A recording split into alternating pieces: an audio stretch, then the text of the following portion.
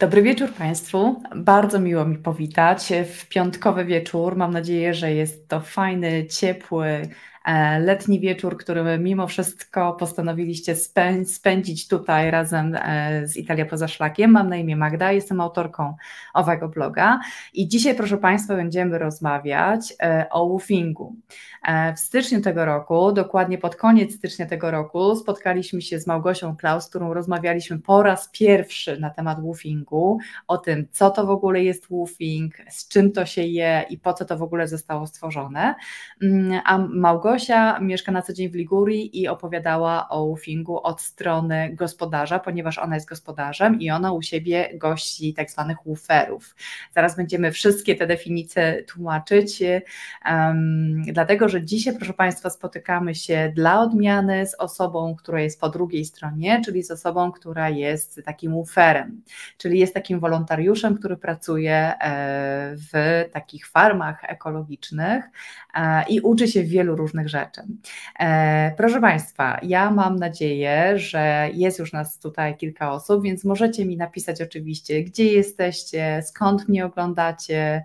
E, ja jestem, proszę Państwa, w okolicach Amsterdamu. Za chwilę zaproszę moją, e, mojego dzisiejszego gościa, który oczywiście przebywa we Włoszech i będzie opowiadać o swojej historii związanej z woofingiem. Bardzo fajnie Edytka, pozdrawiam z Irlandii, Litka, cześć, witam, bardzo, bardzo mi miło. Słuchajcie, kochani, piszcie koniecznie, pozdrawiam Was bardzo serdecznie, piszcie skąd nas oglądacie, a ja e, pozwolę sobie na początek e, poprosić o to, że jeżeli ten temat woofingu Was interesuje, albo wiecie, że może jakiś Waszych znajomych e, może ten temat zainteresować, albo dzieci Waszych znajomych, albo dzieci Wasze czy Waszej rodzinie, to bardzo proszę też, abyście udostępniali to spotkanie. Mam nadzieję, że będzie dla Was wartościowe. Mam nadzieję, że będzie zachęcające, aby w przyszłości skorzystać właśnie z takiej formy e, pracy, nauki e, i fajnych i zdobywania fajnych doświadczeń we Włoszech. Ja już pozwolę sobie Łódź wita, fajnie, witaj. Gdańsk też pozdrawiam i mój Poznań też bardzo pozdrawiam i mój Gdańsk też, mm, bo ja się czuję i poznanianką i gdańszczanką.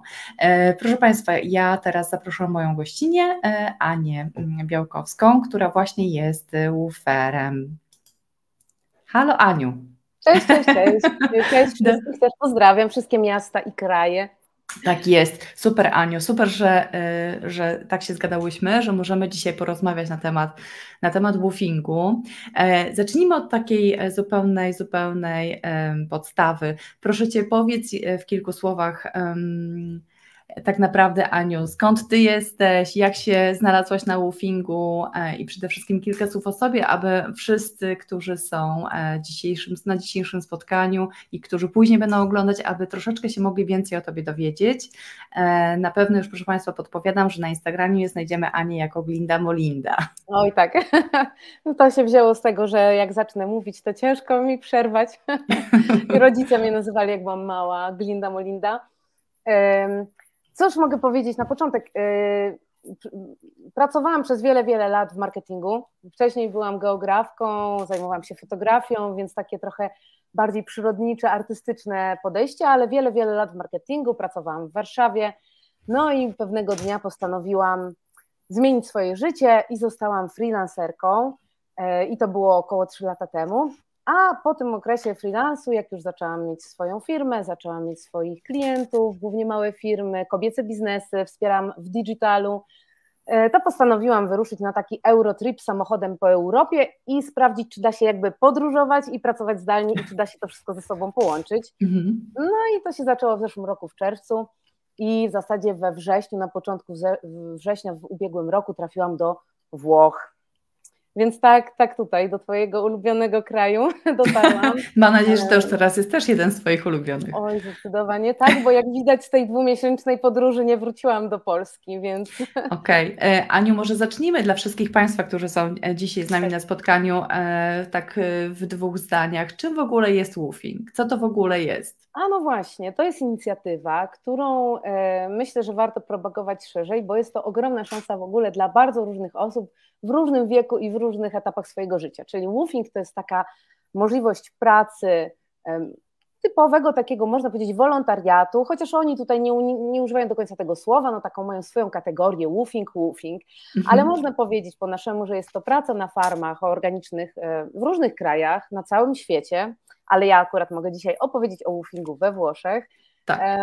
w zamian za wikt i opierunek, czyli w zamian za to, że mieszkamy i śpimy, dostajemy kawałek łóżka, czasem też kawałek biurka, generalnie możemy mieszkać z farmerami w ich e, na ich terenie, na ich posiadłości, w ich domu, czasem w ich mieszkaniu, w różnych, w różnych warunkach, a w zamian za to, i to zależy od kraju, mm, mhm. pomagamy na farmie. Więc później w trakcie spotkania opowiem, jakie przykładowe rzeczy można robić, bo jest ich bardzo, bardzo dużo, ale na pewno e, jest to taka praca niekoniecznie bardzo fizyczna, ale no, też w dużym znaczeniu taka praca w agroturystyce, w agrobiznesie, przy roślinkach, przy przesadzaniu w szklarni, przygotowaniu, sprzątaniu przy zwierzakach, e, różne są rzeczy do roboty, ale zasada jest głównie taka, czy takie założenie, że pracujemy około 4-5 godzin dziennie, mhm. zwykle 1-2 dni nawet e, w tygodniu są wolne, czyli jest taka umowa trochę pisana, a trochę niepisana, no bo nie jest to żadna poważna, bardzo poważna instytucja i to nikt tego tak do końca nie rozlicza, nie ma tam tabelki, że się każdy musi podbijać kartę w zakładzie, tylko bardziej się dogadujemy z gospodarzami na temat tego, co oni potrzebują, w jakim dniu. Na przykład teraz byłam na farmie, która prowadziła restaurację, w ramach tej farmy mhm. była restauracja, no i wiadomo, że weekend jest czasem wytężonej pracy, natomiast zdarzyło mi się, że wtedy poniedziałek, wtorek miałam wolny i pojechałam sobie na wycieczkę do Werony. To jeszcze, żebyśmy tak formalnie się przytrzymali, bo już mniej więcej wiemy, co to jest woofing, tak to jeszcze tak e, powiedzmy sobie, jak w ogóle, e, gdzie w ogóle znaleźć informację o woofingu i w jaki sposób możemy znaleźć taką farmę, na którą możemy się wybrać. No właśnie, to jest tak, że przeglądanie tych farm dla mnie osobiście, kiedy już odkryłam, że mogę być tą uferką i odkryłam to też, e, potem opowiem krok po kroku, jak do tego doszło, ale jak odkryłam, że mogę być uferką, no to mhm. słuchajcie, to jest taka przyjemność jak przeglądanie po prostu ofert biur podróży. Jest strona woof.it, czyli .it e, mhm. z włoskimi farmami i po pierwsze można przeglądać na mapie wszystkie farmy, które są pozgłaszane, czyli właściciele farm zgłaszają się, że potrzebują wolontariuszy, potrzebują pomocników. I oni dokładnie opisują, co się robi na tej farmie, czy oferują wyżywienie wegetariańskie, wegańskie, czy też mięsożerne, czy się pracuje ze zwierzętami, czy można przyjechać z dziećmi, czy można przyjechać ze zwierzętami, czy szukają kogoś tylko na krótko, na przykład na tydzień lub dwa, czy szukają kogoś na pobyt i pomoc dłużej niż na przykład miesiąc. I przeglądając, przeglądając na mapie te farmy lub używając filtrów, można sobie zobaczyć też zdjęcia, popatrzeć, przeczytać opinie poprzednich ufersów. I generalnie, jeżeli my jako ufersi wybierzemy sobie jakąś farmę, upatrzymy sobie, tak jak ja to robiłam, szczerze mówiąc, mam taki mikroklucz do wyboru farm, taką moją secret agendę, bo po prostu chcę spróbować różnych, różnych rzeczy, mhm. to wtedy możemy do gospodarza napisać. I oczywiście każdy ufers, jak się zarejestruje w tym serwisie, tam w zależności od kraju, w niektórych krajach słyszałam, że nie ma opłat, w przypadku e, włoskiego serwisu to jest opłata 35 euro, z tego co tak. pamiętam, czyli około 150 zł. I wtedy taką licencję takiego Woofersa się wykupuje na rok. Więc mhm. wtedy ja przez rok mogę korzystać z platform i dzięki temu, że wykupiłam ten dostęp, mogę napisać do wybranego gospodarza. Jeżeli chcecie już pisać, znaczy, jeżeli chcecie napisać, to trzeba mieć już to konto płatne, ale żeby poprzeglądać farmy, to polecam nawet w weekend sobie teraz posiedzieć po naszym mega inspirującym live'ie i poprzeglądać farmy i popatrzeć, jakbyście mogli sobie popodróżować i różne rzeczy podoświadczać na Czyli my dzisiaj, proszę Państwa, rozmawiamy oczywiście o tym e, łufie, który jest, który działa we Włoszech i o tej włoskiej stronie, natomiast e, jeżeli chcecie jechać do innego kraju, to oczywiście warto sobie zobaczyć e, strony dedykowane dla innych krajów e, i e, w tym momencie nie trzeba jechać, ograniczać się tylko do Włoch, można jechać tak, e, tak naprawdę na całym świecie, prawda, bo można pojechać tak, do tak, Nowej tak. Zelandii, Australii, Stany i wiele, wiele innych krajów, ale oczywiście my się skupiamy na Włoszech, ponieważ to jest kraj, który który nas dzisiaj najbardziej interesuje. Więc zachęcam bardzo Państwa, żeby sobie wejść na tą stronę, e, która jest e, www.oof.it e, i tam, abyście najpierw sobie poprzeglądali, jak to wszystko wygląda. Jeżeli byście byli zainteresowani, to tak jak Ania mówiła, trzeba uiścić tą opłatę 35 euro i w tym momencie można się kontaktować bezpośrednio z gospodarzem i tak jak Ania mówi, wyszukać gospodarza pod kątem tego, co nas interesuje. Czy chcemy bardziej ze zwierzętami pracować, czy chcemy bardziej skupić się na roślinach, czy też miks, czy też jeszcze coś innego. Super. Ania, czyli wybrałaś, czyli mówisz, że Twój woofing zaczął się de facto od niebycia takim jeszcze e, oficjalnym wooferem. Opowiedz proszę o tym, jak to, jak w ogóle Twoja przygoda z woofingiem się zaczęła. No właśnie, jak dotarłam do y, północnych Włoszech w zeszłym roku we wrześniu, to normalnie wynajęłam sobie pokój w Airbnb, cały czas starając się jakby łączyć tę pracę moją zdalną dla klientów, których mam w Polsce, z podróżowaniem po Włoszech. I bardzo mi się spodobał region Valtidone, to jest godzinę od Mediolanu na południe, takie już wzgórza piękne, winorośl, no bardzo kojący, bardzo miły krajobraz, jakieś ciekawe, bardzo takie na koniec, na koniec sierpnia, na początku września są różne festiwale, weekendy tam się odbywają, więc bardzo, bardzo fajne otoczenie. No i oczywiście nie da się moim zdaniem, zwłaszcza w moim przypadku, uniknąć poznawania ludzi, więc poznałam włoską rodzinę i jednego Irlandczyka, którzy prowadzą e, małą azienda agricola, czyli małą rodzinną firmę, która produkuje, mhm. słuchajcie, wino. E, mają pod swoją opieką siedem różnych winnic i produkują własnym sumptem e, wino organiczne, ekologiczne, bio. E, I w związku z tym, że ich poznałam i że się zaprzyjaźniliśmy, zaczęłam od czasu do czasu, zazwyczaj w ciągu dnia, przyjeżdżać do nich i pomagać im w tych zbiorach winogron. Także zupełnie to była taka forma, powiedzmy, przyjacielskiej pomocy. Mhm. Przyjeżdżałam, pomagałam, zbieraliśmy winogrona, dużo, dużo się nauczyłam wtedy też o tych różnych szczepach, rodzajach, Bonarda, Barbera, byłam w, byłam w e, jakby winiarni, tak patrzyłam jak oni to butelkują, próbowaliśmy wina i tak dalej, no i oczywiście w zamian za to, że ja im pomagałam, to często mnie zapraszali na kolację, czy na jakieś lunche, jedliśmy wspólnie, czy jedliśmy sobie w winnicach, i poznałam też inne osoby, takich właśnie wtedy. Ja mhm. poznałam pierwszych wooferów, czyli poznałam dziewczyny z Niemiec, poznałam super parę w ogóle ze Stanów Zjednoczonych. I to było wrzesień i październik cały. Do końca października praktycznie zbieraliśmy winogrona. I oni mi powiedzieli wtedy, Ania, przecież ty powinnaś zostać uferką, skoro ty masz taką pracę, która ci na to mhm. pozwala. A ja tak, jak to, ja, jak to zostać uferką? Co to znaczy? Oni, a tu zobacz, jest taka platforma www.it, E, to wejdź sobie, zobacz, poprzeglądaj farmy. No i tak e, zostawiłam sobie to gdzieś z tyłu głowy. Jeszcze troszkę sobie popodróżowałam, spędziłam styczeń w regionie Trentino, który mhm. słynie też z pięknych stoków narciarskich. E, miałam tam taką małą kawalerkę. Pracowałam dużo, dużo wtedy zdalnie dla klientów, mhm. robiąc jakieś tam strony i tak dalej internetowe. I pomyślałam, co by tu zrobić, skoro chcę zostać w tych Włoszech. I wtedy mi się przypomniało, że mi mówili, Ania, zostań uferką. No i wtedy weszłam na platformę łów, zaczęłam przeglądać farmy i mówię, nie, no po prostu ekstra. I znalazłam farmy i sobie po prostu zabukowałam pierwsze moje cztery woofingi w tym -hmm. roku. Czyli e, wszystkie te woofingi, które były, chcesz powiedzieć, że je za pierwszym razem już od razu zarezerwowałaś? Tak. Praktycznie tak, bo to zajęło mi około tygodnia. Patrzyłam, że tak, mówię, dobra, to w lutym jeszcze będę w takim BNB, chciałam odwiedzić, super znalazłam BNB, które dziewczyna prowadzi w górach, w, w górach Lesini, mhm. E, prowadzi takie schronisko dla psów i bardzo niedrogi pokój wynajęłam u niej, więc to był też super luty.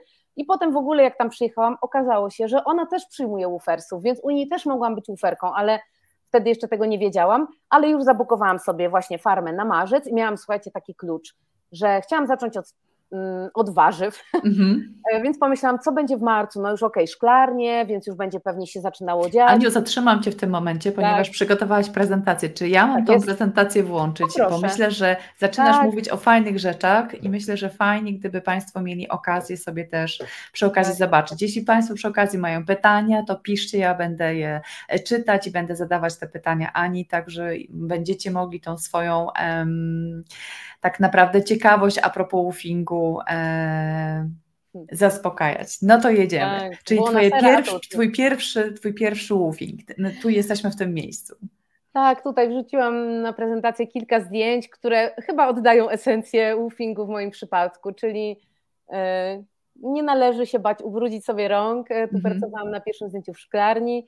E, jeżdżenie traktorami wśród winnic. Ja oczywiście nie prowadziłam traktora, chociaż Niko tutaj, 21-letni Włoch, bardzo chce mnie nauczyć jeździć traktorem, ale mm, to nie jest moja natura. chociaż mogłabym pewnie, ale nie, nie, nie. No i mhm. na ostatnim obrazku widzicie zdjęcie z mojej ostatniej farmy, także trzy mhm. zdjęcia, każde z każdego woofingu po kolei. Możemy Dobrze. przejść dalej. Tak. To jedziemy dalej. No właśnie, to jest y, taki krok wstecz do mojej tej pierwszej historii, czyli jak dotarłam na początku do Valtidone, czyli właśnie do tego regionu e, winnicowego e, na południe od Mediolanu. Mhm. I na następnym slajdzie e, możemy zobaczyć, tutaj jest pierwsze zdjęcie przed, jak tylko podróżowałam i sobie mieszkałam w jakichś kempingach, wynajmowałam jakieś malutkie czy pola namiotowe i generalnie skupiałam się na tym, żeby być takim prawdziwym digital nomadem, a na drugim zdjęciu już widać właśnie Elenę Łuferkę z Niemiec i moje pierwsze próby bycia łuferką, ale jeszcze bez tych oficjalnych łuferskich ustaleń. Mm-hmm, Zbieraliśmy mm-hmm. winogrona w te wielkie skrzynie, tak się nauczyłam pierwszych słów, kaseta piena i kaseta włota, czyli po prostu pełna skrzynka i pusta skrzynka. Tak jest, tak jest. E, da, dawałaś radę połączyć swoją pracę jako freelancerka z pracą jako łuferka? Tak, tak, zwłaszcza, że no mówię, tutaj jeszcze nie było to w ramach tego oficjalnego tak. woofingu, ale na przykładzie winnicy właśnie w Waldidone to było tak, że zaczynamy pracę rano i jeżeli jest to praca, e, jak się domyślacie, nie wiem, w sezonie ciepłym, czyli czy teraz czy byłam w maju, czerwiec, czy nawet wrzesień, to potrafi w ciągu dnia być dość ciepło, więc zaczynamy mhm. pracę czasem o 7 rano, można się przygotować na to, że będzie się wstawać o 6.30, ale nie jest to reguła. Mhm. W pierwszym moim kontrakcie uferskim zaczynałyśmy około 9.30, 10, no bo koniec końców trzeba się dopasować do tych gospodarzy, czyli do organizatorów, tak, tak do, do swoich hostów. Tak no ale tutaj właśnie cała ekipa wspaniała ludzi, którzy są tutaj i ufersi, byli ufersi, i ludzie, którzy przyjeżdżają odwiedzić, i goście z Airbnb. Ogólnie woofing to wydaje mi się świetna okazja też do tego, żeby poznać naprawdę niesamowite osoby, które też y, i lubią przebywać w naturze, i lubią nawiązywać znajomości, i są bardzo otwarte, ciekawe świata. Bardzo duży miks taki kulturowy, super wymiana doświadczeń. No to, to jest w ogóle na pierwszym miejscu, jeśli chodzi o plusy woofingu. Widzę tam na stole moje ulubione piwo. Jeżeli tak, chodzi o tak, moje o też. Oczywiście, oczywiście. No, słuchajcie, jest przykład wymiany, bo y, Luka e, nas nauczył robić mm-hmm. y, takie tortille, takie, takie piacentini, takie ravioli piacentini, czyli właśnie mm-hmm. takich cukiereczków, a ja ich nauczyłam robić pierogi. Jak o, się domyślacie, też przemycam swoje akcenty, więc gdzie nie pojadę, zawsze i nawet piszę to, bo, bo fajnie się przedstawić swoim gospodarzom z takiej perspektywy, co ja mogę wnieść mhm. do tego ich farmingu na ich farmę, bo poza tym, że ja mogę im pomóc robić te rzeczy, które są potrzebne do zrobienia, no to też wiadomo, że wnosimy cały swój koloryt, swoje historie, czyli ja piszę, ej, y, gram na gitarze średnio, ale czasem to jest fajne, potrafię jakby piekę chleby, mogę was nauczyć robić polskie pierogi. No wydaje mi się, że to jest dobry taki small talk na początek i takie, taka fajna wizytówka. Tak, wydaje mi się, że to jest bardzo fajne, bo to jest jakby e, świetna wymiana e, kulturowa, jak widać kulinarna, także też. to jest też moim zdaniem bardzo fajne, czyli jakby e, rozmawiamy już w tym momencie o tym, e, czego się mogą Państwo mniej więcej spodziewać na takim muffingu, jak to wygląda. Um, ale mówiłyśmy sobie, że porozmawiamy dzisiaj i o blaskach, i o cieniach. Od czego tak chciałabyś zacząć? Pół na pół. No pół na, na pół. Zdjęciu, na zdjęciu ewidentnie są blaski. Zdecydowanie, są blaski. na zdjęciu są, są blaski tego. Jedzenie. Jedzenie. Tutaj nawet widać, bo odwiedziłam ich ponownie e, w okresie świąt, e, bo po mhm. Bożym Narodzeniu przyleciałam do Polski na rodzinne święta i potem wróciłam do Valtidone E, i zorganizowaliśmy taką kolację wigilijną. Słuchajcie, przygotowałam żurek, ale oni też przygotowali. Tutaj po prawej stronie widać wino, widać sery. To są totalnie blaski, czyli o, może powiem od razu i blaski, i cienie, mhm. ponieważ bardzo duża część, nie wiem czy Państwo się orientują, ale duża część Włochów to są po prostu tacy typowi mięsożercy, więc wychwyciłam pewnego rodzaju takie półżarty na temat tego, że kiedy przyjeżdża jakiś nowy ufer, to oni tylko mówią, Boże, żeby nie wegetarianin, bo oni wszyscy gotują bardzo mięśnie, czyli nawet mm. jak jest jakiś sos czy makaron robią do, do pasty, to zawsze na jakimś takim e, mięsnym e, mm, składniku, mm -hmm. ale to nie ma problemu też generalnie, żeby każdy coś znalazł dla siebie, więc blaskiem jest to, że to jedzenie, które oni oferują zwykle na tych farmach, to albo to jest jedzenie, które sami produkują i to praktycznie no, u mojej włoskiej rodziny winiarzy to oczywiście było to wino i ich wino jest bardzo dobre, bo jest bio, eko, naturalne, organiczne i, i nie zawiera tych mhm. sulfidów, jest bardzo jakby oryginalne też w smaku i generalnie dość drogie, natomiast wiadomo, że pracując na takim woofingu, no mamy to do dyspozycji praktycznie i do lunchu, i do kolacji, zawsze jest to wino i wino.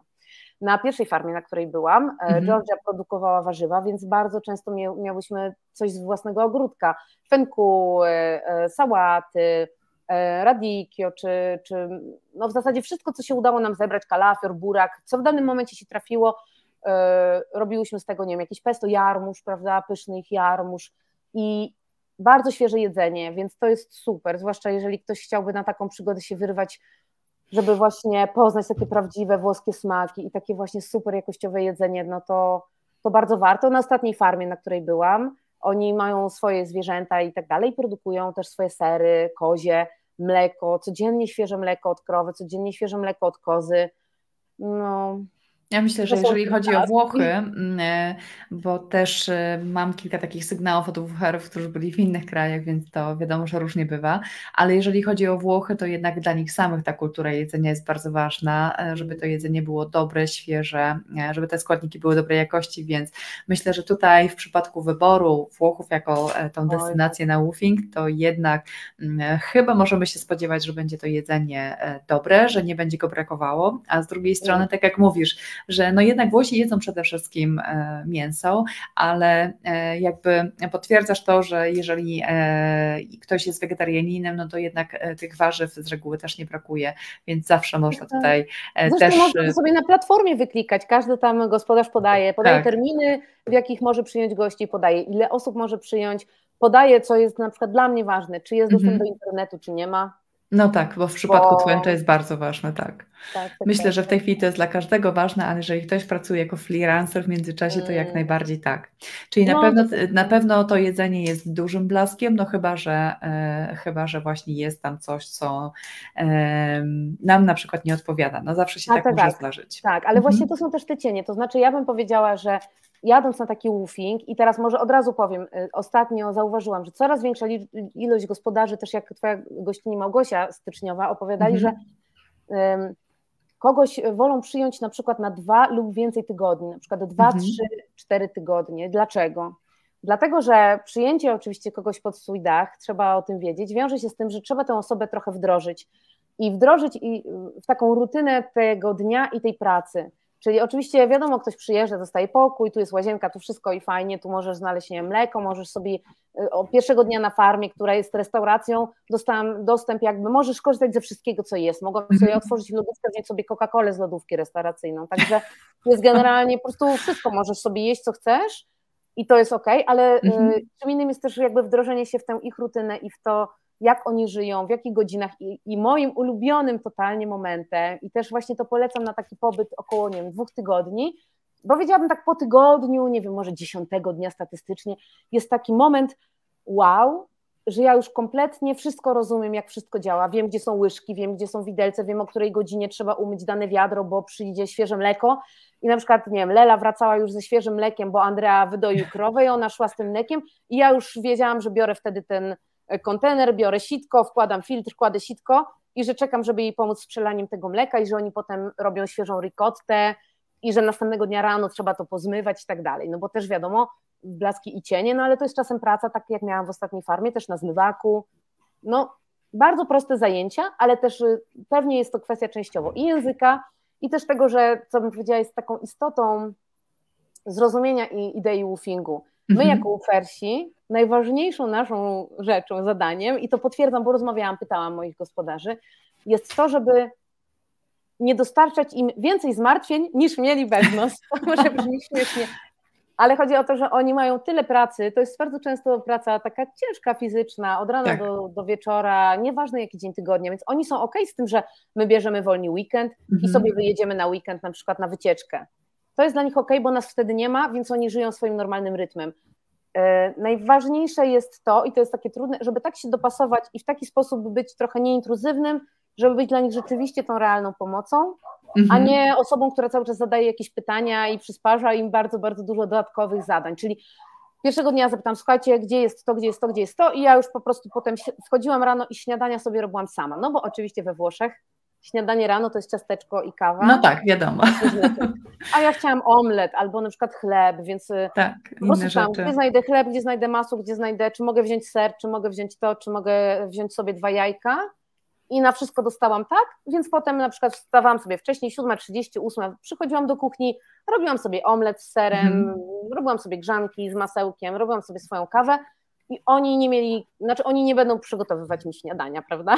Tak jest. To za, zanim Aniu, bo chciałabym e, nawiązać do tego, o czym mówiłaś przed chwileczką, ale jeszcze proszę Państwa, już na, na etapie tym, e, proszę napiszcie koniecznie, kto już miał, kto, mm. kto e, myśli o, o tym w ogóle, żeby się wybrać na taki woofing, kto miałby ochotę się wybrać na coś takiego, albo kto myśli o tym, żeby mm, komuś zaproponować coś takiego, żeby, nie wiem, wysłać jakieś swoje dorosłe dziecko na to, mm, to dajcie koniecznie znać w komentarzach, albo chociaż pójście jakieś serduszko, to będziemy wiedzieć, że że są wśród nas osoby, które miałyby ochotę mm, kiedyś w przyszłości się na to wybrać. E, mnie bardzo korci, szczerze mówiąc. E, natomiast w międzyczasie, kiedy opowiadałaś o tych rzeczach związanych z tym, że jak wygląda adaptacja, że najlepiej na dwa tygodnie, że wiadomo, że wchodzimy de facto w czyjeś życie, bo po prostu w tym momencie jakby musimy się dostosować, ale też musimy się nauczyć, ale wspominałaś też o tych różnych takich językowych sprawach i właśnie tak. tu Cię chciałam zapytać o to, jak właśnie wygląda komunikacja e, pomiędzy gospodarzem, pomiędzy innymi uferami, bo przecież jesteście de facto z różnych krajów świata, pojawiają się różne języki, pojawiają się też pewnie różne e, śmieszne rzeczy mm, e, w dogadywaniu się, w porozumieniu i tak dalej. Powiedz, jak to, jak wygląda ta rzeczywistość? Tak, to mm, można też oczywiście na platformie sprawdzić, w jakich językach mówi gospodarz. Często jest to i w północnych Włoszech, to najczęściej widzę, że oczywiście jest to włoski, ale też często są to osoby, które są otwarte ogólnie te, na po prostu właśnie tę wymianę międzykulturową, więc oni też bardzo często mówią po angielsku. Zdarzyło mi się nawet na ostatniej farmie, że na przykład rodzice tam około pięćdziesiątki nie mówią po angielsku za bardzo, trochę mhm. rozumieją, ale już ich dzieci totalnie tak i jakby z tymi dzieciakami jest komunikacja, z dzieciakami, w sensie 23-25 lat. Mhm. E, może też to mogę wspomnieć, bo ja w tym roku skończę 41, także to nie jest tak, drodzy Państwo, że ten woofing jest tylko dla młodych, bo i osoby, które e, nie wiem, pracują i po prostu chcą zrobić sobie jakąś taką. Są od razu wiesz wyjechać. pytania właśnie, właśnie hmm. o to, Aniu, czy jest granica wiekowa, bo domyślam się, że wśród naszych oglądających to rozumiem, że trzeba mieć te 18 skończone, żeby pojechać, czy można mieć mniej? E, chyba, Wydawało... chyba, nie, chyba 18 plus. Chyba 18 mi też tak się wydaje, natomiast czy jest ta górna granica? Nie, myślę, że nie ma i też zwłaszcza, że na tym pierwszym moim pobycie w Valtidone mhm. spotkałam mm i też pomagałyśmy razem w winnicy z 60-letnią Portugalką, mhm. więc e, totalnie nie. zwłaszcza, że tak jak mówiłam, właśnie ci gospodarze, y, na początku jest możliwość napisania do siebie z gospodarzem i ja zawsze pytam, cześć, tak jak pisałam do moich pierwszych hostów, cześć, chciałabym przyjechać do Was w marcu na trzy tygodnie, najlepiej między tym a tym dniem. Mhm. E, co jest wtedy do robienia, czy będę wtedy Wam przydatna, tak? Też można napisać, y, że, że powinno się mieć powiedzmy jakąś tam sprawność fizyczną ogólnie, ale można też zapytać, słuchajcie, ja nie mam problemy z prawym barkiem, czy ta praca nie będzie zbyt ciężka dla mnie mhm. i po prostu porozmawiać i zapytać, bo jak przyjechałam nawet na ostatnią farmę, tę właśnie restaurację, to miałam w pewnym momencie trochę taki wybór, że Jane, szefowa kuchni, 23-letnia, właśnie, która generalnie zarządzała Woofersami, zapytała mnie, czy wolisz pracować z nami w kuchni, czy wolisz w, w ogrodzie, jakby, tak. bo też były rzeczy, pielenie, fenkuły, e, karmienie krów, można było tam, nie wiem, sprzątać, różne rzeczy. Mhm. I, I mogłam sobie wybrać, więc na, na pewno jest też możliwość zapytania, ale wcześniej warto zapytać, tak jak wiem, że u Małgosi jest tak, że jak jest sezon oliwkowy, no to tam wszystkie ręce na pokład i rzeczywiście wszyscy muszą zasuwać, więc jak się szczerze zapyta, odpowie, to wydaje mi się, że w tej komunikacji wszystko da się ustalić.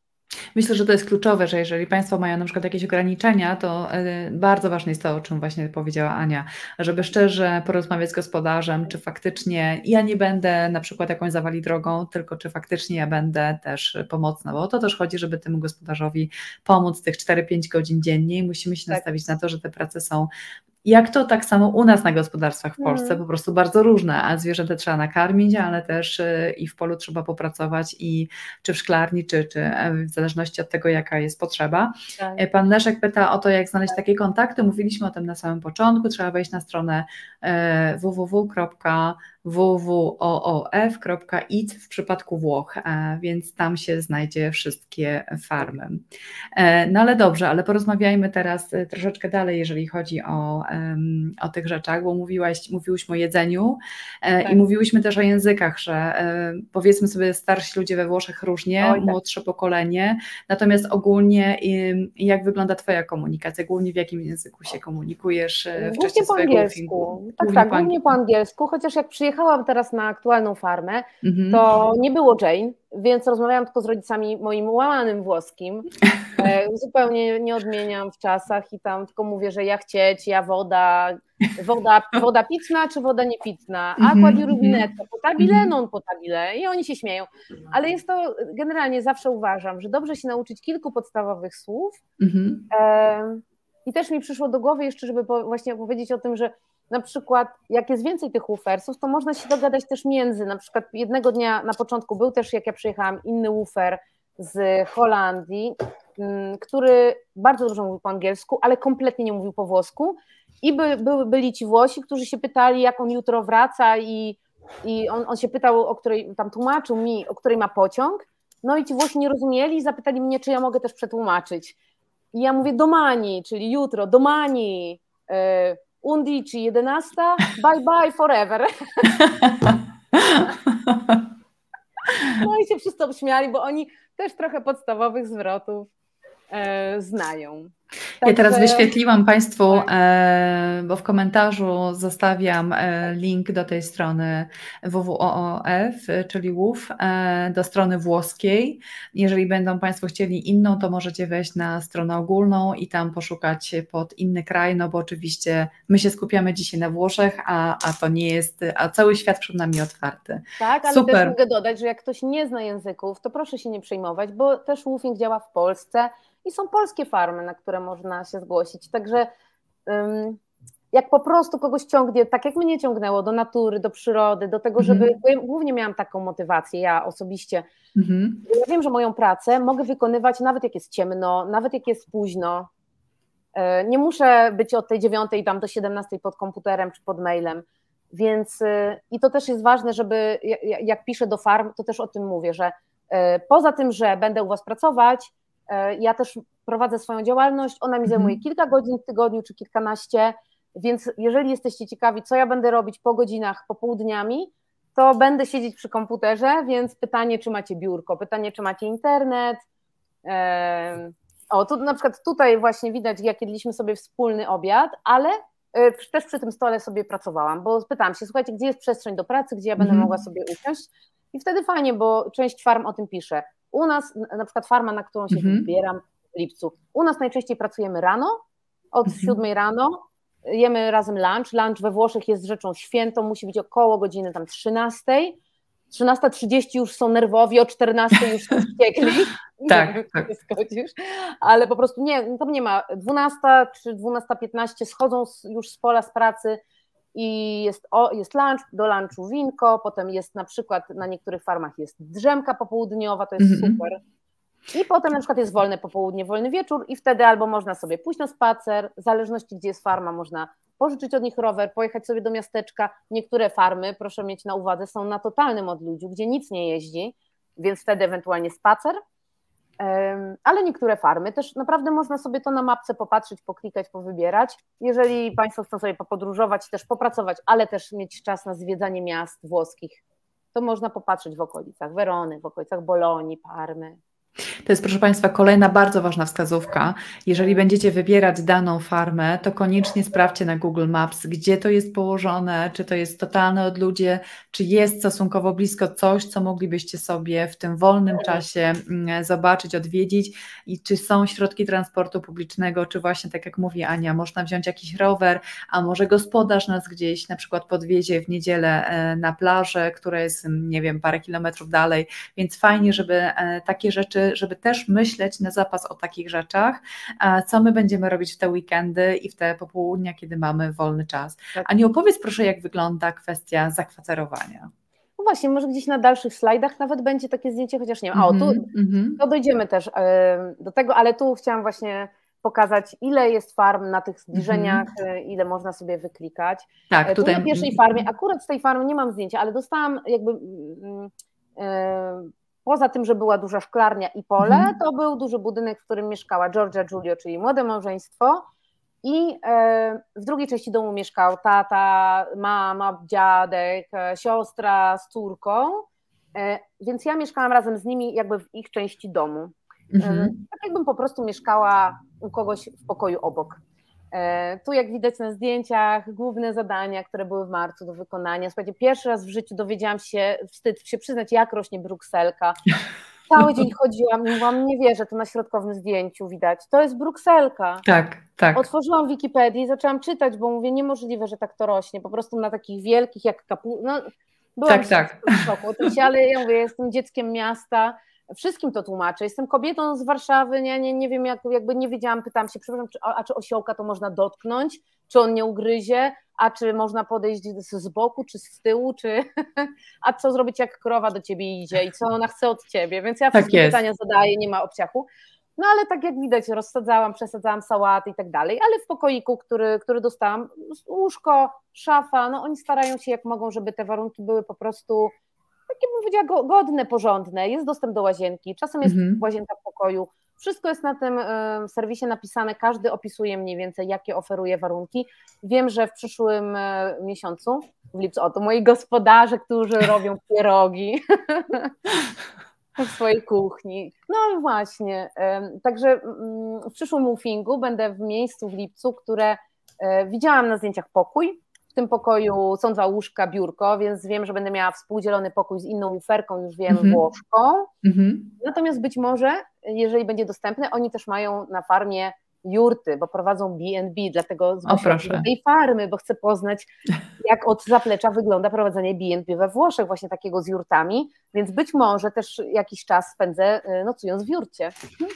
Super doświadczenie może być na pewno. Także to, to, to, jest kolejna rzecz, czyli e, patrzmy, czy będziemy mieć pokoik tylko dla siebie, czy to będzie raczej tak. współdzielony pokój, e, czy tam będzie nocować e, jeszcze jedna osoba, czy może więcej, bo to są tak. w zależności od tego po prostu, jakie gospodarz ma warunki mieszkaniowe i tak, czy to tak, będzie tak. koadykacyjne, czy mieszkają osobno kobiety, osobno mężczyzny, czy rodziny.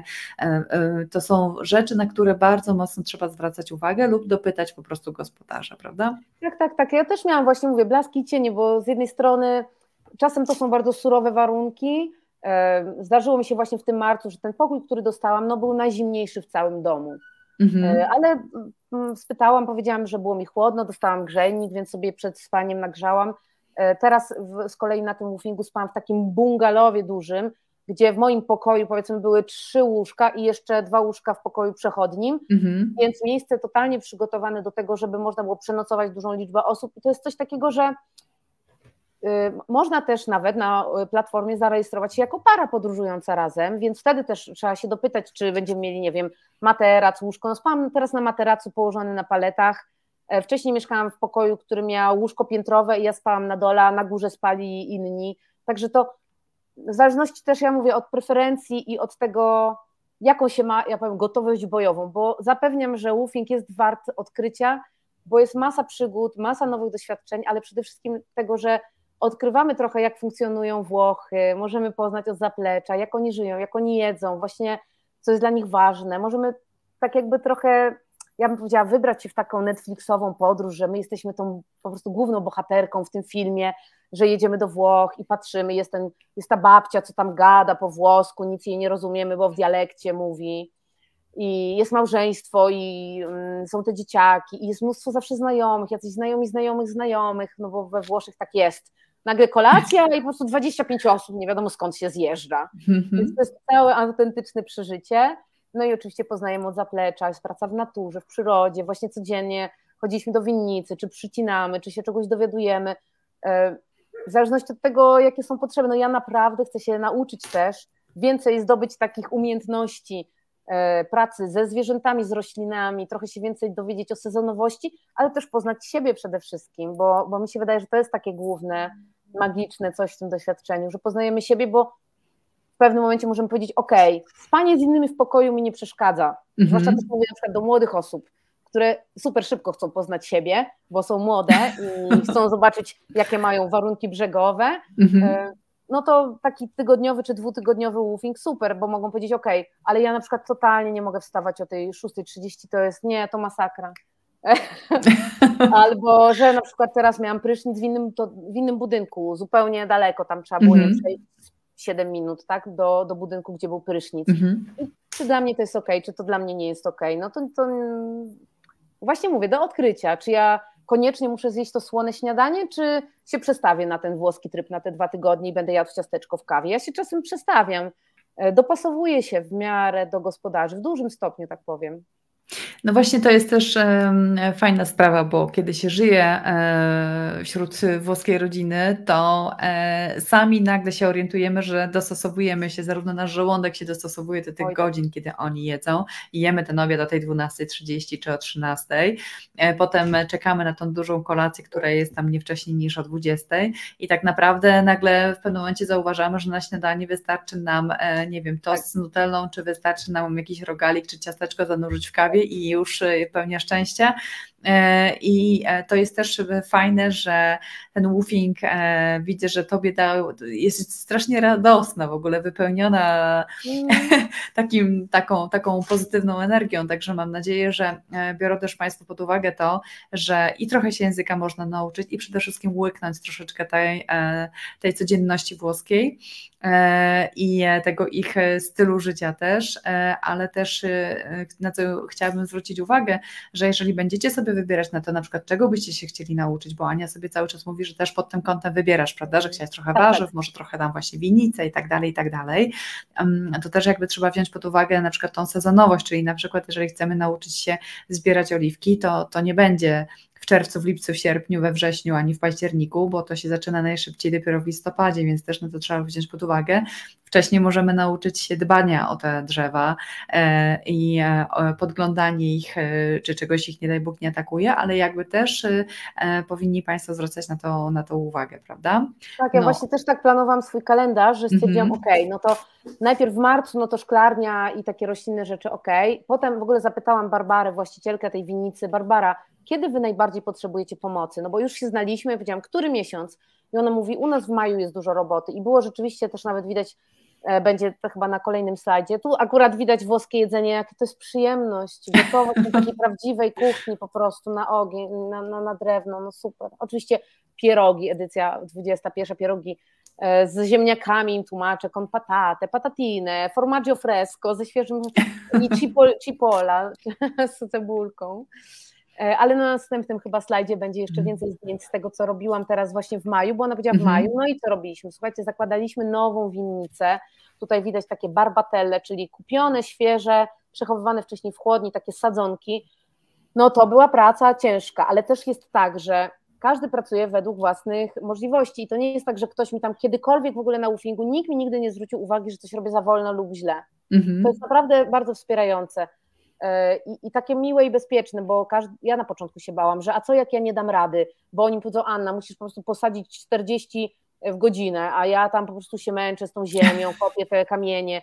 Nie, nie, tam jest po prostu, oni bardzo się cieszą, że mają tę pomoc, bo to i z każdym w zasadzie jak rozmawiałam, to to jest tak, że w połowie bym powiedziała, oni liczą naprawdę na tę pomoc taką fizyczną, że ktoś pomoże właśnie że szybciej założymy nową winnicę, albo że ktoś mhm. pomoże coś nosić, albo że ktoś pomoże coś przewieźć, ale oni też pracują sami ciężko.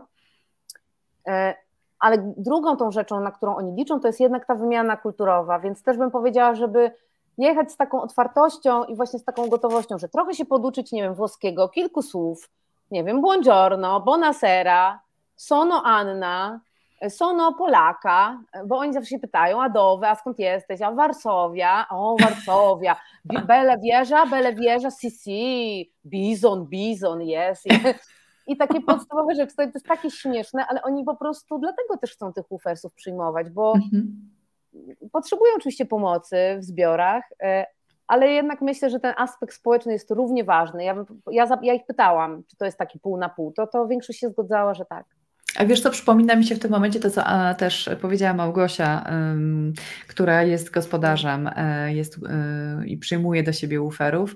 Mm, ona powiedziała coś takiego, ja mam zwierzęta, ja nie mogę sobie w tej chwili pozwolić na dalekie podróże, ale dzięki temu, że ja przyjmuję uferów, to ten świat przyjeżdża do mnie. Tak. E, I to jest właśnie bardzo fajne, bo jakby potwierdza to, co ty mówisz, że oni są bardzo ciekawi nas, są bardzo ciekawi skąd pochodzimy, co u nas się je, jak u nas wygląda Oj, tak naprawdę je, to najważniejsze. Ja, ile razy ja nie googlowałam żurek i po prostu kotlet schabowy z ziemniakami mizerią i oni o, to, o tę mizerię tacy zaniepokojeni. Co to w ogóle jest? No. Ja mówię, pan Achida, paśna śmietana. I tak, no i nawet, ale nawet jeden pojechał, tam byli na ta, gdzieś tam na targu, wstąpił do takiego sklepu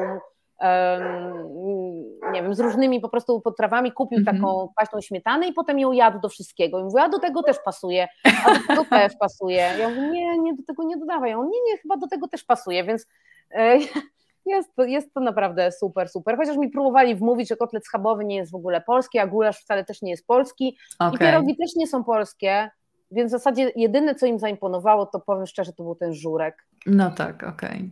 Zresztą żurek, jest e, niemiecka. No i... Żurek zresztą gdzieś ostatnio w jakichś takich rankingach światowych nawet się pojawia jako jedna z taka z najbardziej oryginalnych potraw E, która jest bardzo, bardzo ceniona. Mm, e, muszę powiedzieć, że jestem absolutnie pod wrażeniem tego, jak wielu rzeczy się uczyłaś, jak wielu rzeczy się też nauczyłaś i miałaś tak fantastyczne możliwości, żeby doświadczyć właśnie na przykład tego sadzenia nowych sadzonek. Mm -hmm. No jak ja tam przyjadę za dwa lata, to ta winnica będę po prostu chodzić w cieniu młodych drzew, mam nadzieję. Tak, będziesz już taką, e, taką matką chrzestną tej winnicy. tak. W każdym razie mam nadzieję, że, że, e, że to też jest dla Państwa inspirujące, czego można się nauczyć mm. E, i że tak naprawdę każde miejsce, w każdym miejscu możemy się nauczyć czegoś nowego, możemy się nauczyć zupełnie nowych umiejętności, to jest super.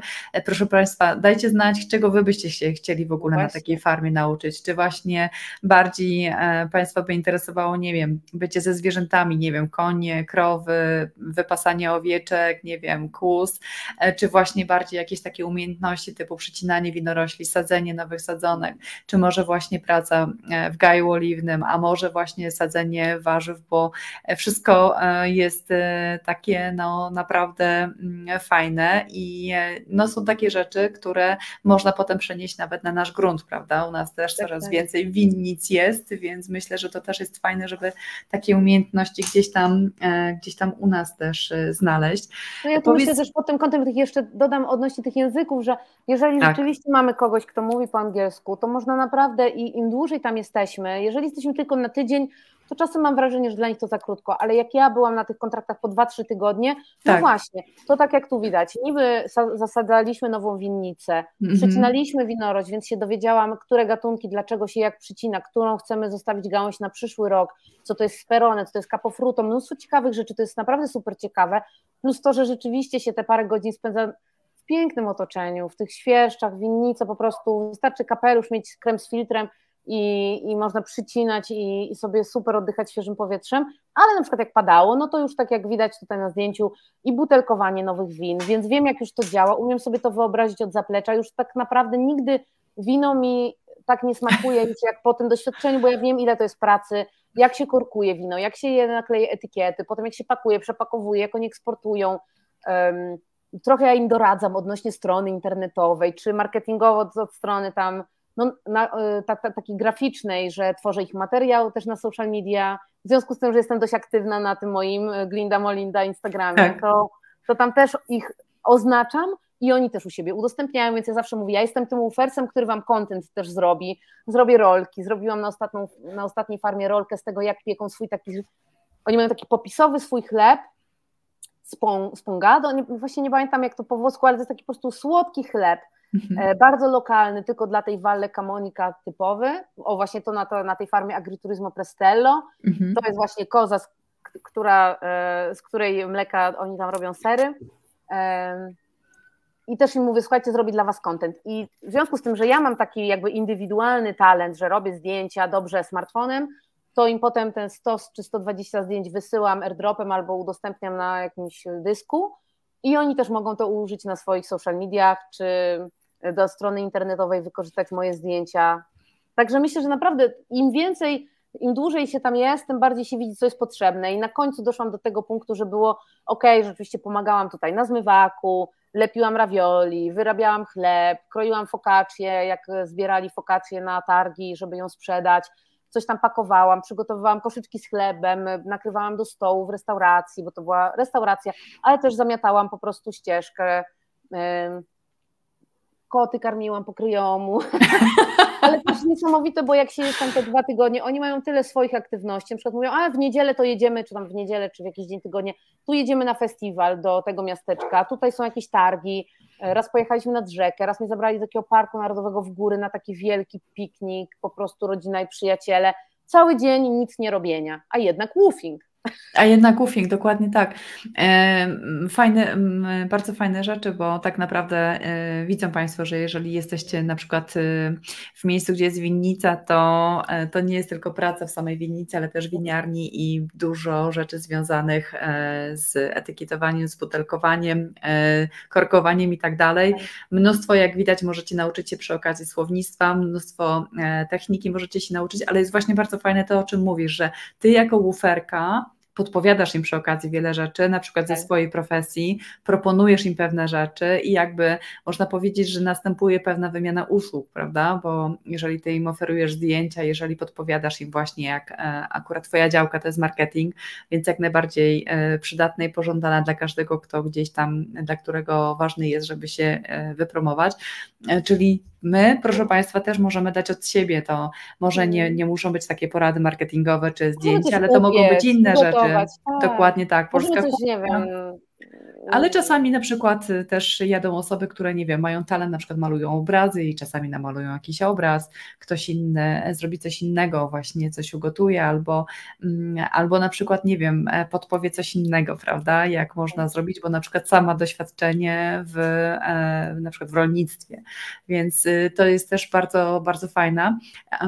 A powiedz mi, Aniu, bo jestem tak ciekawa, czego ty się dowiedziałaś o sobie odkąd zaczęłaś być uferką? Mm. Masz coś takiego? Takie, takie, duże pytanie, ale mm, myślę, że przede wszystkim no, no, bo tak, z jednej strony ja sama wybieram te farmy i też staram się jakoś zachęcić tych gospodarzy, czyli mówię, poza tym, mm. że ja w ogóle tutaj, ja akurat mam ten plusik, że ja podróżuję po Włoszech samochodem. Znaczy ja w ogóle, żeby Państwo wiedzieli, ja w ogóle żyję w samochodzie moim osobowym. Znaczy ja nie mam mieszkania, nie mam domu, po prostu jak już zdecydowałam, że zostaję w tych Włoszech, to już się wszystkiego pozbyłam.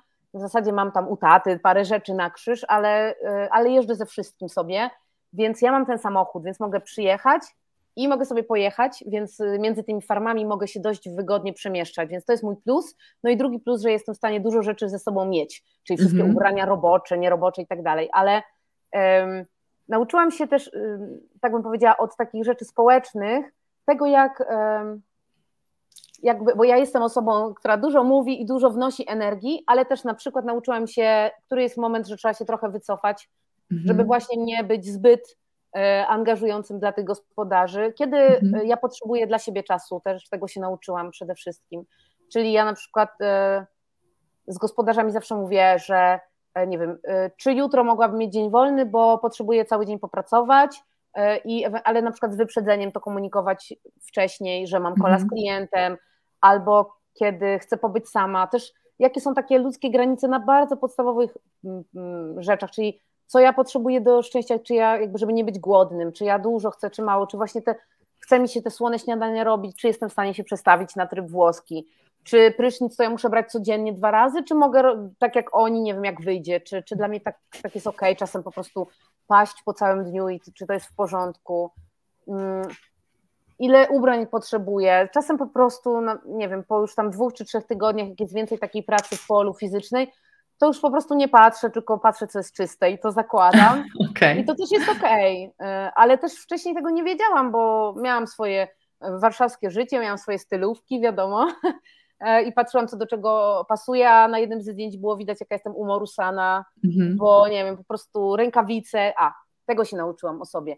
Bardzo warto mieć dobre spodnie i dobre rękawice, żeby po prostu, chociaż oni na przykład pracują w ogóle bez rękawic, ci, ci moi winiarze. Ziemi, tak? Na przykład jak coś tak. robią. Mhm. A ja jednak mam mhm. wrażenie, że jestem bardziej... Y, odkryłam też taki patent, jak na przykład chciałam, nie wiem, fajnie wyglądać, czy gdzieś jechałam na jakieś, do jakiegoś miasta, to, że malować paznokcie na czarno, bo na przykład jak są na czarno, to nie widać ziemi. To nie widać ziemi, tak jest. E, taki no, protip, prawda? Tu widać, jak mieszkałam teraz no na właśnie. parnie. To jest taki długi bungalow, no widzicie, warunki nie są jakieś rozpieszczające, ale prawda jest taka, jak sobie ja myślę, mam co jeść, mam gdzie spać, no to -hmm. czego więcej do, do, do szczęścia nam potrzeba?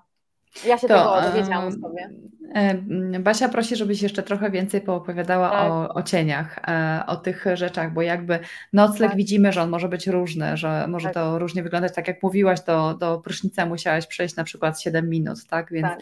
E, to są takie rzeczy. Jedzenie, no jakby jemy to, co gospodarz to, oferuje, jest. prawda? To, co tak. jest po prostu, tak?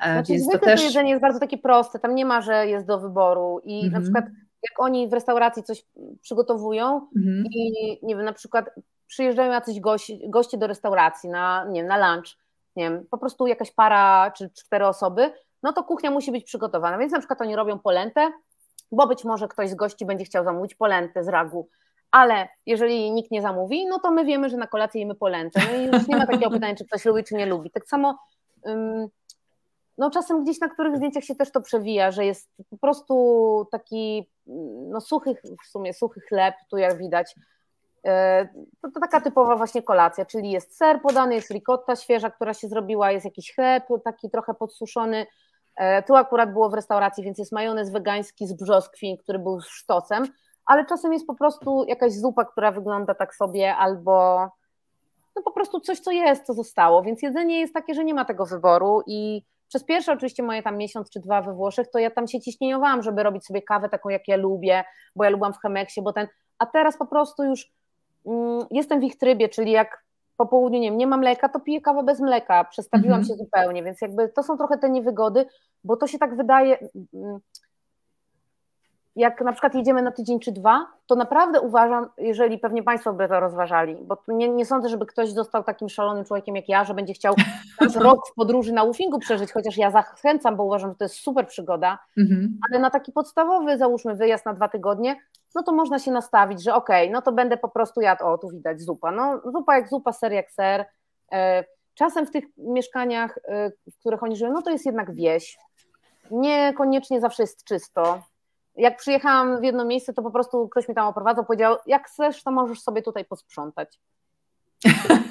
Bo oni nie mają czasu, żeby tam sprzątać. To nie jest jakby hotel, oni nie prowadzą B&B. To jest po prostu miejsce, które mają, które mogą dać Ufersowi, to po prostu dają i oni, no okej, okay, jest materac, są jakby wygodne, oni zawsze dadzą koce, jak, ale jak jest zimno, czy zimna woda pod prysznicem, no to po prostu tak jest i tutaj nie mamy takiej opcji, żeby wybrzydzać. Także to są takie cienie, które bym ujęła w kategorii dyskomforty dnia codziennego, albo to, że, że mm, z takich rzeczy bardziej organizacyjnych, że nie zawsze wiemy, co my będziemy danego dnia robić. I to dla mnie to po prostu było jednak czasem frustrujące, że mhm. jak się ubrać. No bo nie wiem, czy jak idę, to mam być po prostu buty wysokie, typu kalosze, czy jakieś takie buciory i długie spodnie i, mhm. i założyć rękawice i po prostu coś ciemnego, bo będę pracować, nie wiem, sprzątać, przerzucać y, obornik z miejsca na miejsce, czy będę pracować w ziemi, czy mam wziąć kapelusz, bo będę na słońcu, czy nie brać tego kapelusza, bo, mhm. bo będę w środku, więc jest totalnie taka um,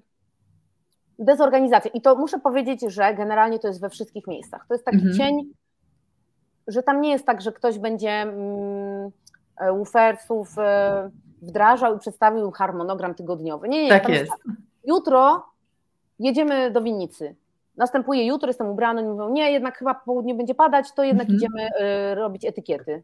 Mhm. I człowiek się po prostu, nie wiem, przebierać, nie przebierać, już nie wiem, po prostu gorąco, zimno, spocony, niespocony, pralka mhm. nie działa, nie mam gdzie uprać. Y, w jednym miejscu musiałam przygotować pranie po prostu i dać im, żeby oni zabrali do innego domu i potem następnego dnia, że mi przywieźli, zapomnieli, to potem jechaliśmy, odebraliśmy to pranie i tak dalej. Także to są takie rzeczy, właśnie powiedziałam, logistyczne, y, na które trzeba się przygotować, że po prostu być bardzo otwartym. Bierzemy to, co mamy i, to, co jest. I jak nie zdąży nam wyschnąć ubranie, no to trudno, to po prostu coś pożyczymy. Albo, no zdarzyło mi się raz, jechaliśmy jednak do winnicy, nie miałam długiego rękawa, świeciło słońce i inna uferka zdjęła bluzkę i mi dała, bo miała dwie. Aniu, bo jak rozmawiamy o tych rzeczach e, e, związanych z tym, że na przykład, e, mm. czyli jakby pracujemy dzisiaj nad tym, jaka jest potrzeba danego, gos, e, danego tak gospodarstwa i co tam gospodarz nam wymyśli, tak. z jednej strony, bo czasami oczywiście gospodarz reaguje na to, jakie są warunki atmosferyczne, tak? Czyli na przykład tak. dzisiaj pada, to nie pracujemy w polu, tylko pójdziemy Dokładnie. na przykład zrobić coś innego.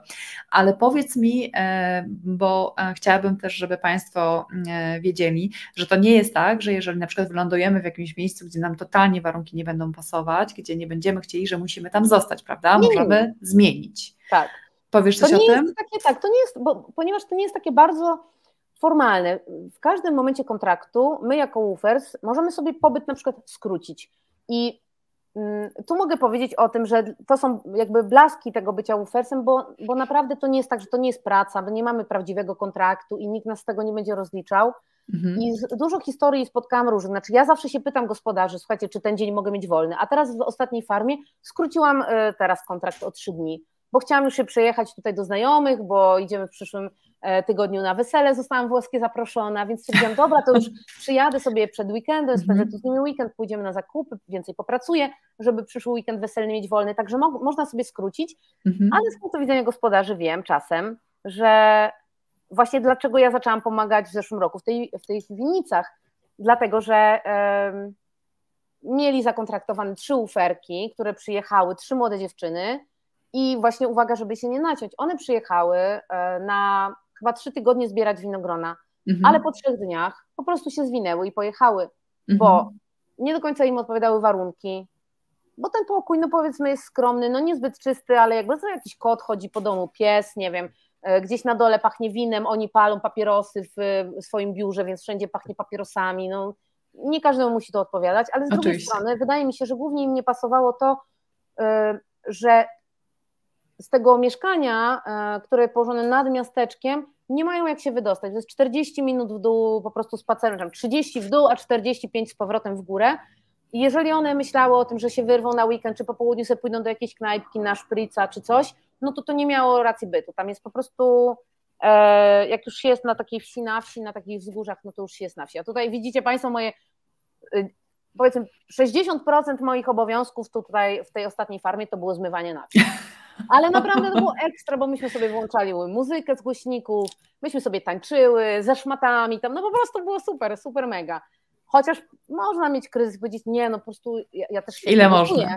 Ja też się nie gotuję, też chciałam jakąś wymianę kulturową tutaj przeprowadzić. No akurat tak. na poprzednich slajdach było widać, moja wymiana dotyczyła zdjęcia. Im robiłam te piękne zdjęcia potraw, tak jak właśnie pokazywałeś przed chwilą, czy pizza, czy te aperitivo, no to te wszystkie zdjęcia im wysłałam, oni mm-hmm. na mhm. swoje sociale mogą dodać, no byli mi mega wdzięczni, skumali, że ja w tym jestem dobra, więc już tam po tygodniu mnie wołali, Anna, o, po co, po co, po po co.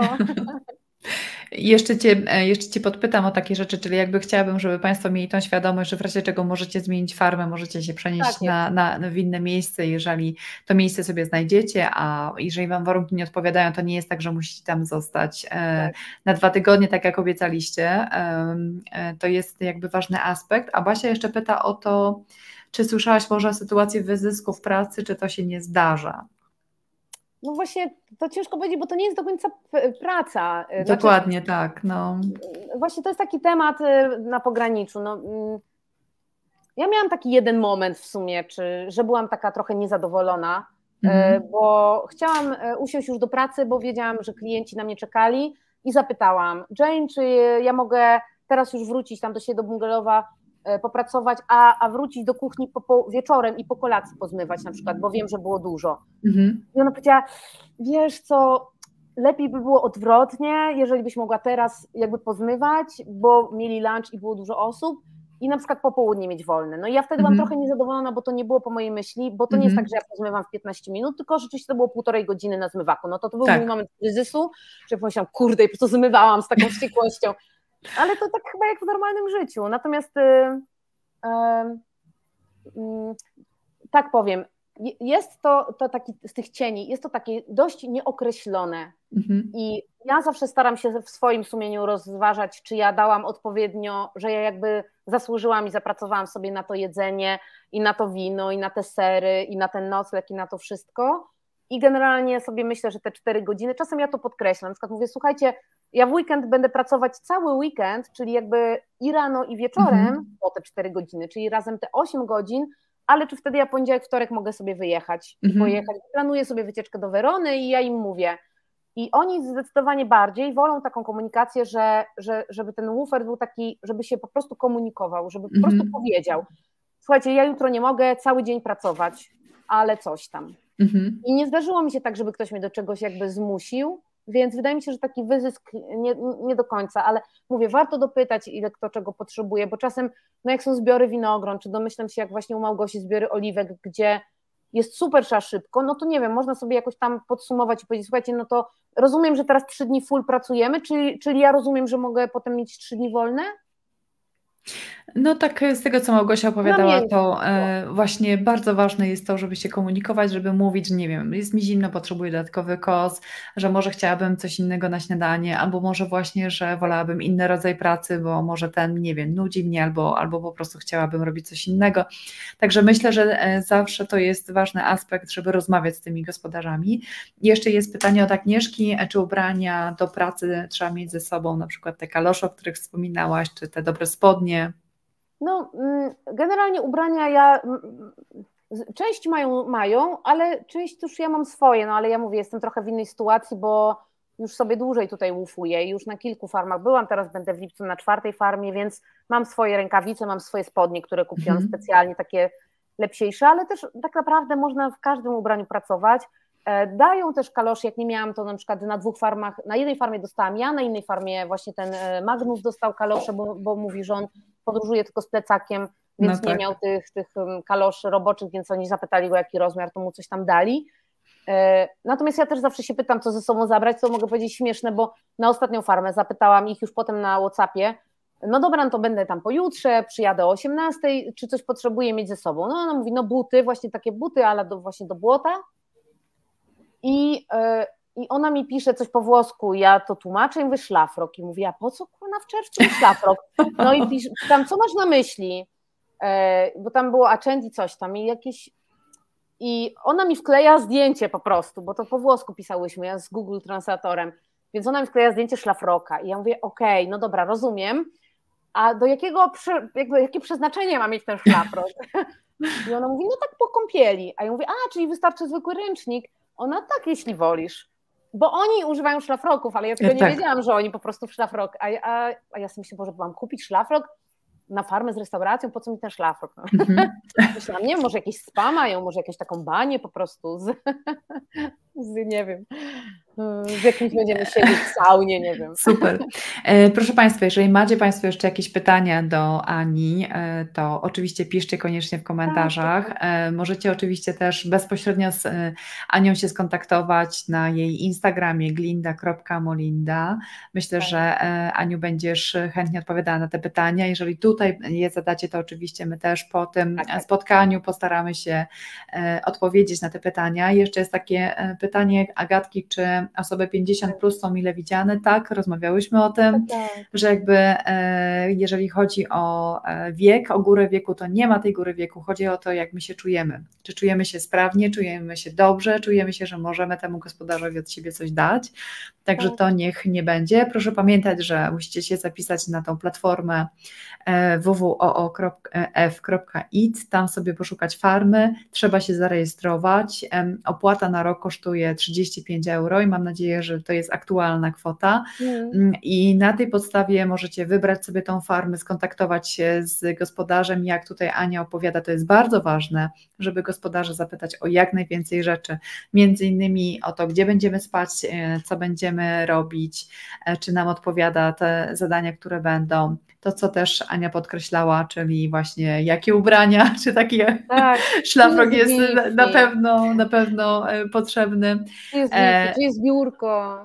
Dokładnie. Jeżeli... Ten, żeby się nie zrażać też jeszcze, bo e, czasem jest tak, że ludzie mówią, nie no napisałem do gospodarzy, nikt mi nie odpisuje, mm -hmm. pewnie mnie nie chcą. To nie jest tak, oni po prostu naprawdę, w każdym miejscu, w którym byłam, to są ludzie, którzy są naprawdę bardzo zapracowani, tak. zwłaszcza jeśli jest sezon i jeśli mają już jakichś ufersów, którzy już im zadają pytania, i oni muszą zorganizować, kogo przewieźć, gdzie podwieźć, kto z kim samochodem i tu jadą, tu zbierają winogrona, tu jeszcze muszą zaprojektować etykiety, tu sprzedać, tu coś tam jeszcze wrzucić na sociale, więc oni czasem odpowiadają z opóźnieniem. Zdarzyło się czasem, że ktoś komuś nie odpowiada, albo na przykład odwrotnie, że woofer e, się zapisał i potwierdził i na przykład nie przyjechał. To są takie historie, tak? Albo nie mhm. odpisał, nie potwierdził finalnie. Także mhm. na, na, po prostu, ja bym powiedziała, na chillu, ale o wszystko, o wszystko dopytać. Ja mam sobie zapisane, że jakby właśnie te warunki spania, co mówisz, te języki, e, o, o, o, pranie, no bo jeżeli planujecie, nie wiem, dwa tygodnie woofingu, a potem na tydzień sobie zostać jeszcze, nie wiem, we Florencji, można dopytać, czy będzie u Was możliwość uprania ubrań. W jednym e, właśnie mówiłam woofingu, jest, była pralka super ekstra, w drugim nie było, ale można było komuś dać te ubrania. Także. Tak. I też e, e, przypominam jeszcze raz, żeby sprawdzić lokalizację, e, jak daleko jest, bo tak jak mówiłeś, że dziewczyny zrezygnowały, bo trzeba było 40 minut iść do jakiegoś tak. miejsca, no to jeżeli ktoś jedzie z myślą o tym, że na przykład będzie chciał wieczorem na dyskotekę wyskoczyć albo pozwiedzać albo cokolwiek, no bo wiadomo, że młodzi ludzie to mają różne, tak. różne pomysły na, na ten czas spędzony we Włoszech, to na, naprawdę to jest bardzo ważne, dlatego że wiele farm jest gdzieś tam daleko położonych mm, i, i gospodarz faktycznie faktycznie na przykład przyjedzie, nas odbierze, tak. prawda? Albo nawet nie ma tego czasu, żeby nas przyjechać, odebrać i na przykład musimy tam jakoś dojechać e, i nas może na przykład, nie wiem, odebrać z przystanku autobusowego. Tak, tak. Także wszystkie te rzeczy są bardzo, bardzo ważne. Mm, e, Aniu, ogromnie Ci dziękuję. Pozdrawiają Cię również absolwenci umiejętności jutra. O, Także tutaj masz też, y, widzisz y, takie swoje towarzystwo. Jest mi ogromnie, ogromnie miło. E, jeśli jeszcze nie poruszyłyśmy jakiegoś tematu, to proszę koniecznie pytajcie, proszę Państwa, w komentarzach, postaramy się to uzupełnić. Mam nadzieję, że e, Ania tutaj jest taką osobą bardzo żywiołową, ale myślę, że jeżeli jesteście introwertykami, to woofing też jest dla Was, też, e, bo też. jeżdżą wszelkiego rodzaju e, osoby z różnymi osobowościami. Grunt, żeby być otwartym na to, e, co, co możemy z tego wynieść, czego się możemy nauczyć, kogo możemy poznać i czego możemy się o sobie dowiedzieć, bo ten temat też poruszałyśmy. Powiesz nam, czego, z czego jesteś najbardziej zadowolona? Z jakiej umiejętności, e, czego się nauczyłaś na, na, na farmie? Masz coś takiego? Chyba mogę powiedzieć, że naj, znaczy największą przyjemność odkryłam po prostu w rozsadzaniu tych małych sałat, tych malutkich doniczek. To jest taka praca jak w laboratorium, że po prostu się wyjmuje te trzy sałatki, małe takie po prostu z tymi korzonkami się rozdziela na małe i potem się każdą wsadza oddzielnie i to, mm -hmm. to jest tak satysfakcjonujące, mogłabym to robić w nieskończoność, ale chyba najbardziej taka jestem usatysfakcjonowana na ten moment z tego, że się dużo nauczyłam o tych winoroślach mm-hmm. i o tym, jak to jest po prostu piękne, to jest jak poezja, mm-hmm. jak e, Barbara, która jest tą osobą, która decyduje i przycina, Mhm. To na przykład w zimie, po całym sezonie, jak ta winorośl już wydała te owoce i po prostu ma mnóstwo tych gałęzi, liści i tak dalej, potem to wszystko usycha i miałam możliwość jeden dzień w styczniu tak gościnnie przyjechać mhm. i patrzeć jak ona po prostu 80% tych gałęzi obcina i zostawia tylko dwie, dwa kawałeczki z taką intencją, w którą stronę ona chce, żeby ta winorośl wyrosła na wiosnę i jak wiosną jeszcze przycina, to jeszcze bardziej jakby patrzy, ogląda i mówi, kurczę, tu jest to sperone, ale tu jest to sperone, ale myślę, że to wygląda trochę lepiej i rośnie w lepszym kierunku, więc to obetnę, a to zostawię. I potem jak się tam przyjeżdża na przykład w tym wrześniu i są pełne po prostu tych winorośli, tych po prostu tych pełnych gron, winogron, to aż takie mam dreszcze teraz, że to po prostu tak płynie. To jest po prostu niesamowicie dla mnie wzruszające, także to bym, to bym zmieniła.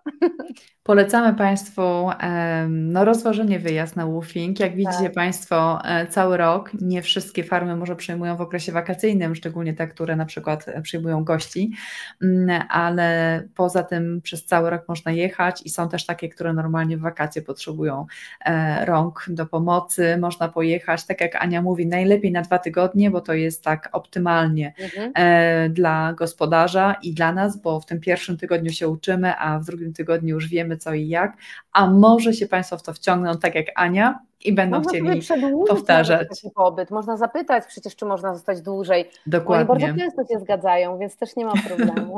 Jeśli Państwo mają elastyczne urlopy, albo są tak jak Ania freelancerami, albo chcą wysłać Państwo dzieci, które mają ten okres wakacyjny długo, to to jest myślę świetny sposób.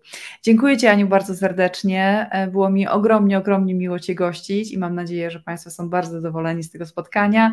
E, proszę dajcie znać, proszę dajcie jakieś serduszka koniecznie tutaj tak, tak. Dla, e, dla Ani, żeby posłać, bo nam bardzo dużo dała informacji. Myślę, że mm, dzięki temu mają Państwo obraz i od strony gospodarza, tak jak wspominałam, w styczniu był live na ten temat z Małgosią Klaus i teraz macie od strony Ufera i mam nadzieję, że jest to super kompletny obraz tego, jak można spędzić czas na woofingu. Dziękuję Ci Aniu jeszcze raz. Dziękuję. Grazie. Dobranoc. Ciao. Buonanotte. Buonanotte.